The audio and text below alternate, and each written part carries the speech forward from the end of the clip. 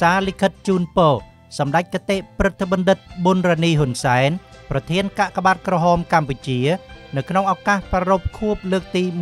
111ទិវាអន្តរជាតិនារី8មីនា ឆ្នាំ2022សម្ដេចគតិព្រឹទ្ធបណ្ឌិតប្រធាន ជាទីគោរពដ៏ខ្ពង់ខ្ពស់នៅក្នុងឱកាសដ៏មហាមង្គលាភិរមប្រសើរថ្លៃថ្លា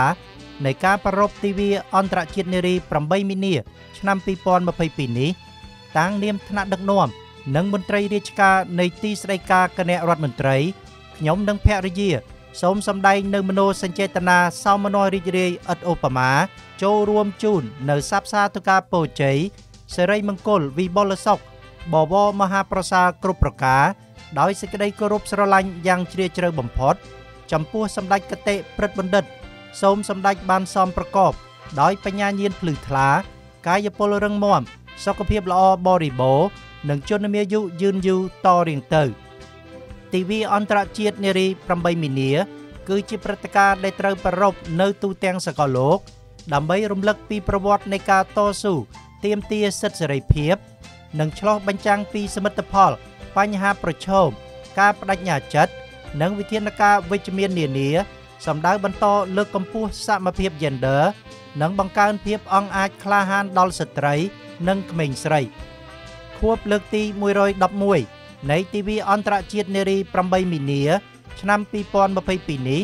នឹងត្រូវប្រារព្ធធ្វើឡើងក្រោមប្រធានបទសមភាព Gender ថ្ងៃនេះដើម្បីចីរភាពនាពេលអនាគត ក្នុងគោលបំណងបន្តរំលេចពីតម្លៃមិនអាចកាត់ថ្លៃបាន នៃសុខសន្តិភាពនិងការបន្តលើកកម្ពស់សមភាព Gender ដែលរាជរដ្ឋាភិបាលកម្ពុជា បាននឹងកំពុងគ្រប់គ្រង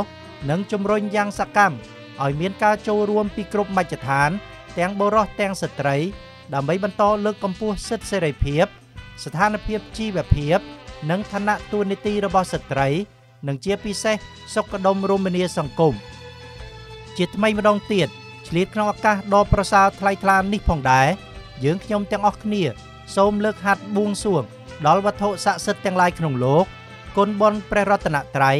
គុណកែវទាំង3និងទេវតាថែរក្សាឆ្នាំឆ្លូវត្រីស័កពុទ្ធសករាជ2565ព្រះនាមមុន្ទាទេវី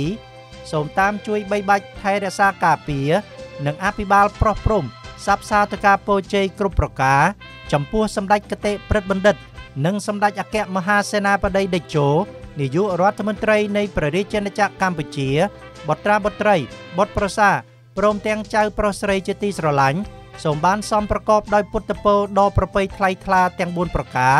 គឺអាយុវណ្ណៈសុខៈនិងពលៈជានិច្ចនិរន្តរ៍កំបីគ្លៀងគ្លាតឡើយសូមសម្ដេចកតេព្រឹទ្ធបណ្ឌិត ប្រធានកាកបាទក្រហមកម្ពុជាមេត្តាទទួលនៅគិរវៈភក្តីភាពដ៏ស្មោះស្ម័គ្របំផុតពីខ្ញុំនិងភរិយា ថ្ងៃសុក្រ900ខែមិញឆ្នាំឆ្លូវត្រីស័កពុទ្ធសករាជ2565 ធ្វើនៅរាជធានីភ្នំពេញថ្ងៃទី25ខែកុម្ភៈឆ្នាំ2022តំណាងថ្នាក់ដឹកនាំនិងមន្ត្រីរាជការនៃទីស្តីការគណៈរដ្ឋមន្ត្រីឧបនាយករដ្ឋមន្ត្រីប្រចាំការហត្ថលេខានឹងត្រាគតិនីតិកុសលបណ្ឌិតប៊ិនឈិន